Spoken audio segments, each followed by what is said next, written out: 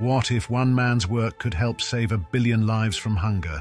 Meet Norman Borlaug, the agronomist whose innovations ignited the Green Revolution. Born in 1914, Norman Borlaug was an American agronomist whose groundbreaking research transformed global agriculture. In the mid-20th century, Borlaug developed high-yield, disease-resistant wheat varieties that revolutionized food production. His work in Mexico led to wheat strains that could thrive in harsh conditions and produce unprecedented harvests.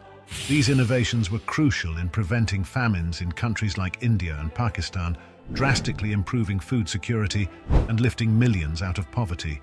Borlaug's contributions sparked the Green Revolution, a movement that modernized agriculture and saved countless lives. In recognition, he was awarded the Nobel Peace Prize in 1970.